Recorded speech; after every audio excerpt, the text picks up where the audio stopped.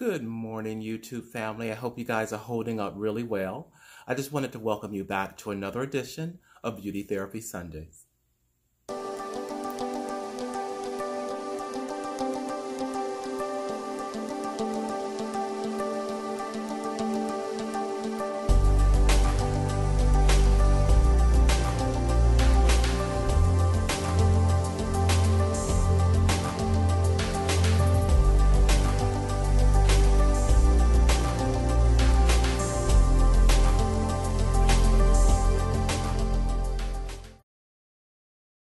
Want to thank you guys for subscribing to my channel.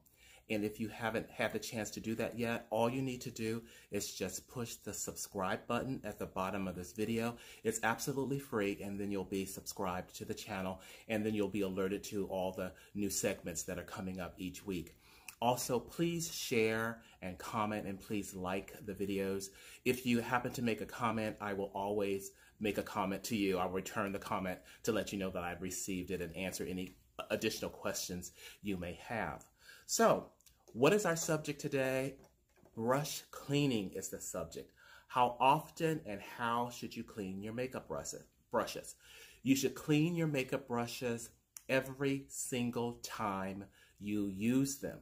The softer, the cleaner the brush, the more well blended your makeup will be. You cannot do beautiful makeup, you guys, with gummy makeup brushes. You can't do it. So how do you clean it? You have to clean it between each use. So what I like to use, there is, uh, you can use professional makeup cleaners. My favorite is called Japanesque. And all you have to do is take the product, spray it on the brush and the tissue, and then you rub it into the tissue until all of the makeup is gone. Okay, you just keep cleaning it. Usually one or two sprays of this particular product will take away all of the makeup and you'll come back with a very, very clean makeup brush.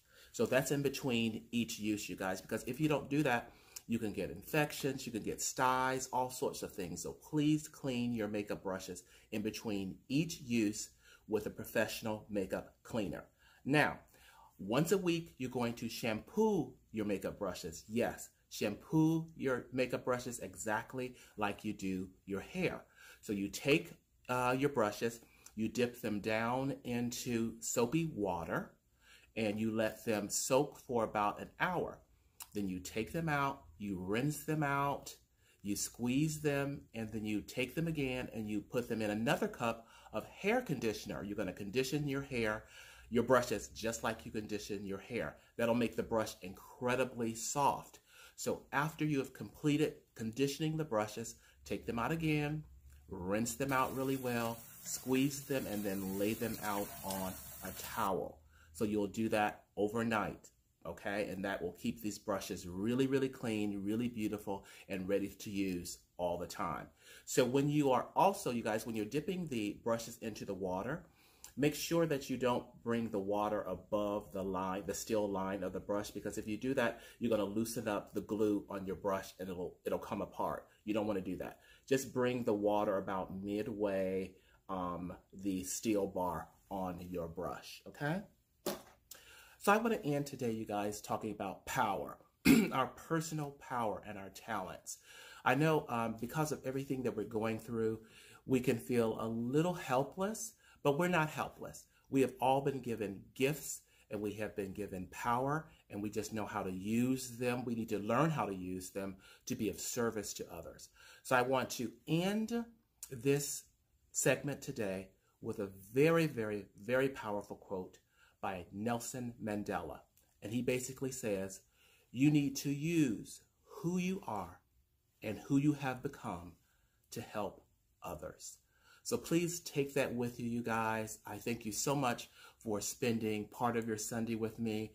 I hope you have a wonderful day today. And please remember, you guys, please be good to yourself. And as always, what do we always say? Be kind to everybody that you meet. Thank you so much again for watching, you guys, and I'll see you next time.